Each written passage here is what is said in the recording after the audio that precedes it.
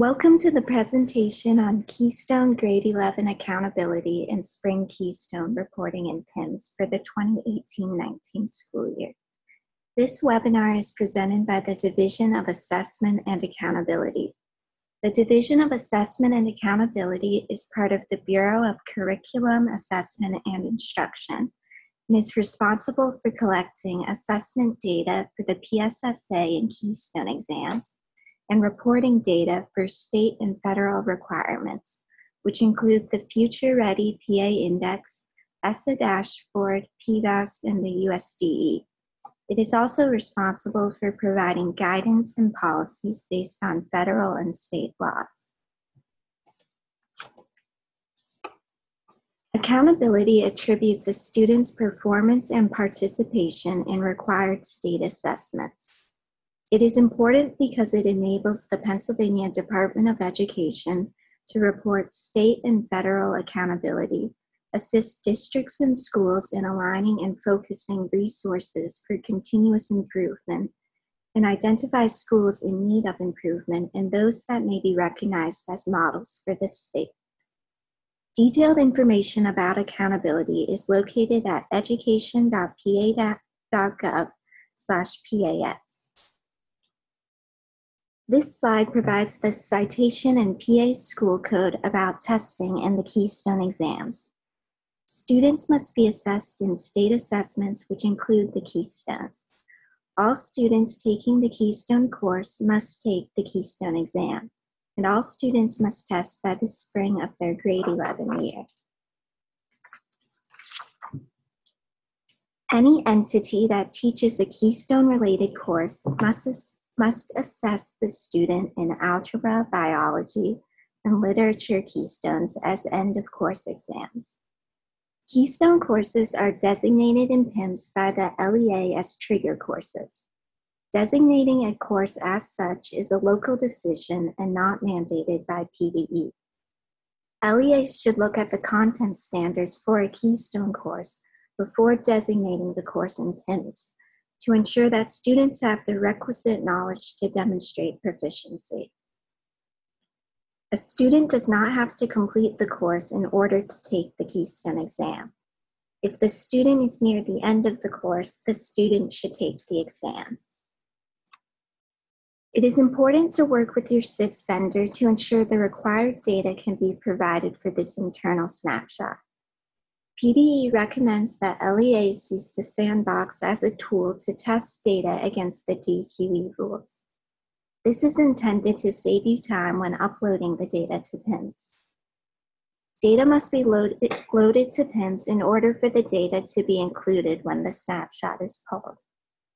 The deadline for submitting data for this collection is 12 p.m. on May 30th, 2019.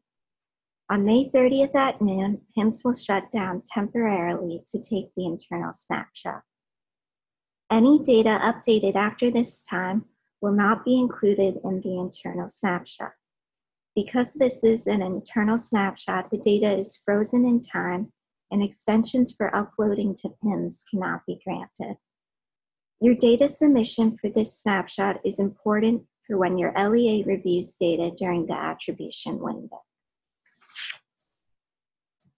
There are two templates, student and school enrollment, that need to be updated and uploaded in Collection Windows 6. In order to submit the correct data, PIMS administrators must first identify the students who are present as of the last day of the testing window, along with their demographic information. This data is reported in the school enrollment template. Once the student is identified as being enrolled in the LEA, the student's data are retrieved from the student template. It's important that PIMS administrators verify that data has been successfully uploaded by running verification reports. PIMS administrators are also encouraged to run the enrollment pre-snap subgroup comparison report because the data that is in that report is the data that PIMS shows as uploaded for the LEA. The deadline is reiterated. Data must be uploaded by noon on May 30th, 2019. When more than one LEA reports a student, the following business rules will be applied to unduplicate students. These first two rules address students in part-time and full-time CTCs. If a student is reported by one or more occupational part-time CTCs and an LEA of any other type, then the record submitted by the other LEA will be used because it is the other LEA that's providing the educational services for the subjects assessed.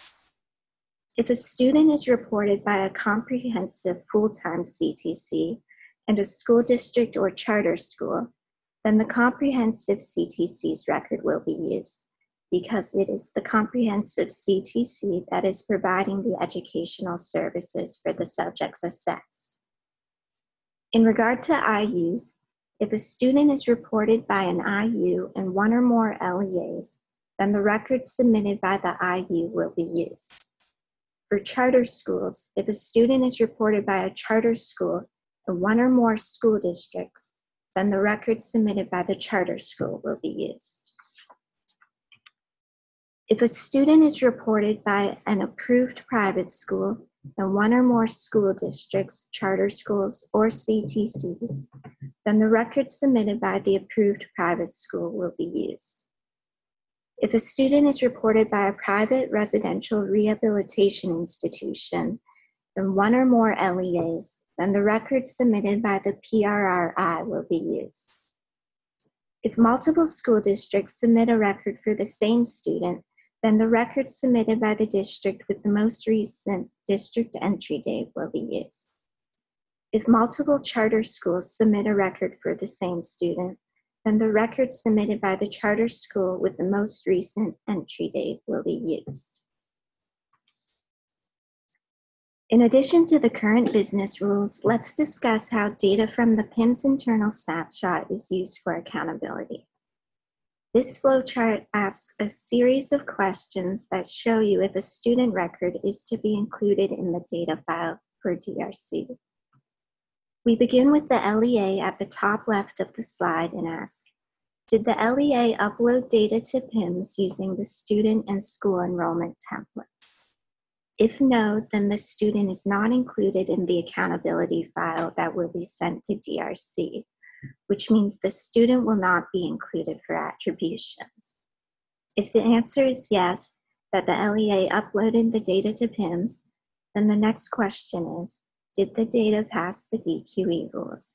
If no, then the LEA will have to upload the data again into PIMS. If yes, the next question is, did the school enrollment template include the student?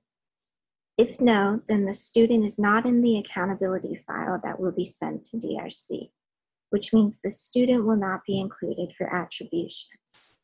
If yes, we move to the next question. Are the school district and state entry dates within the valid date ranges? If no, then the student is not included in the accountability file to DRC, which means the student will not be included for attributions. If yes, the next question is, is the student full academic year? Whether or not the answer is yes or no, the student is included in the accountability file to DRC.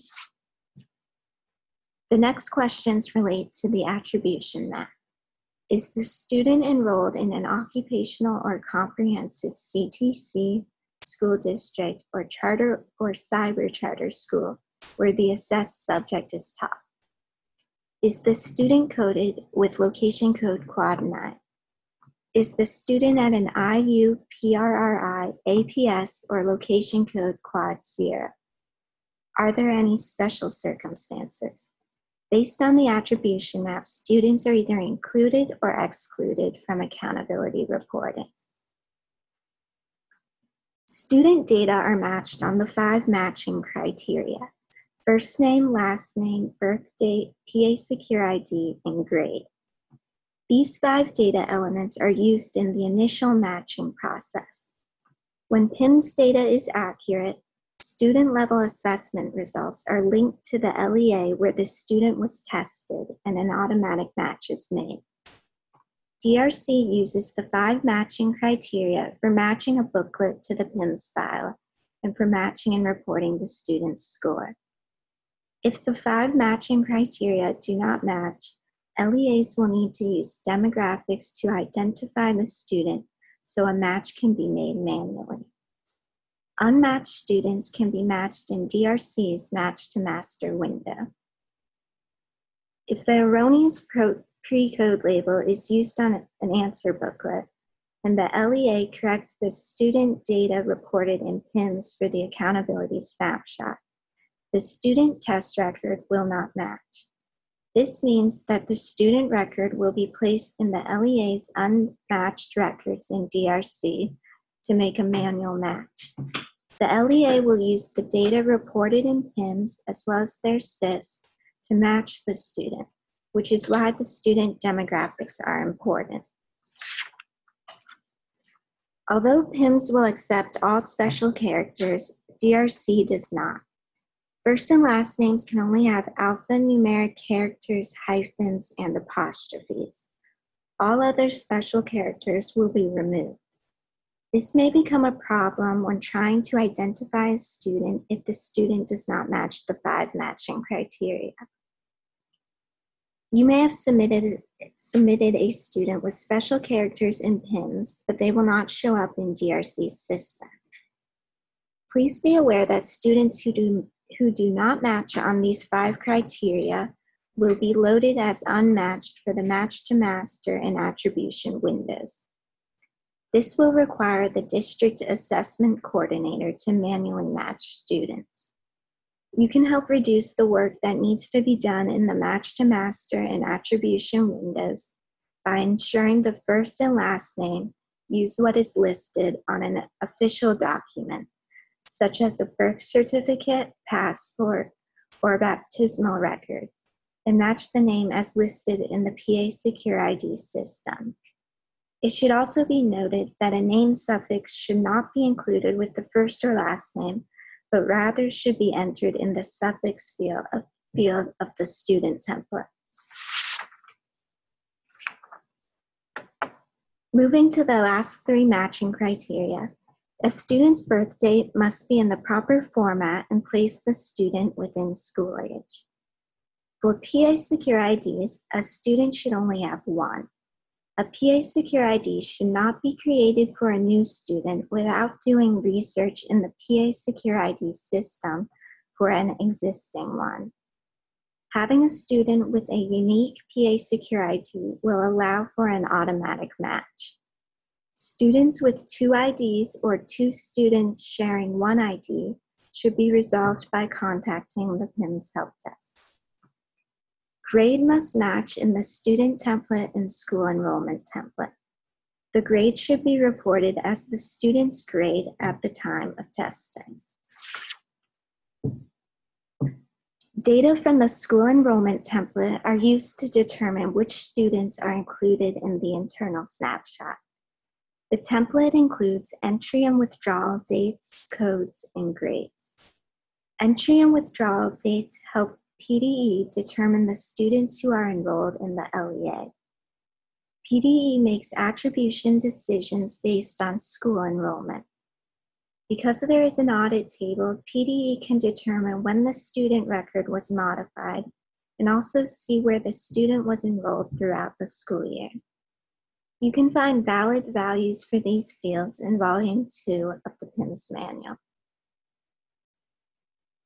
The school, district, and state entry dates in the student template are also used to determine if a student record is included in the DRC file from this internal snapshot. This data helps PDE determine full academic year status. The guidelines for submitting the school, district, and state entry dates are as follows. The dates must be in ISO format. These fields cannot be left blank, they are required fields. The dates must fall within the current school year or before. There is a DQE rule that ensure, ensures future dates cannot be entered. The state entry date is the date the student entered a PA school. The district entry date must be on or after the state entry date. The school entry date must be on or after the district and state entry dates. This is another way to look at the school district and state entry dates. The state entry date must be on or before the district entry date, which must be on or before the school entry date. The demographics for each student are embedded in pre-code labels or test tickets. If the student cannot be matched using the five matching criteria, these demographics can help you or someone in the LEA to identify students and manually match them to their test records. Demographics include a student's race and ethnicity, being economically disadvantaged, being an English learner, having an IEP, and being in a military family. This is the list of demographics that are important to accountability. Accountability reporting for ESSA and the Future Ready PA Index disaggregates data by subgroup and reports it publicly and federally. There may be changes in a student's demographics from one upload to another, for example, economically disadvantaged or IEP status. Race and ethnicity is self-reported and although unlikely, can change. LEAs should report accurate demographics at the time of the present upload. This is important for accountability reporting, including the Future Ready PA Index, ESSA, and PVAAS. Race and ethnicity is self-reported. Economically disadvantaged status is determined by the LEA. To determine if a student is economically disadvantaged, the noted sources may be used. If such data are not available, use the most recent reliable data available at the time of determination, such as free and reduced price lunch eligibility. The CEP indicator is a school designation, but economically disadvantaged is a student level designation. Therefore, not all CEP students are identified as economically disadvantaged. Additional subgroups of note include EL status as denoted in field number 41.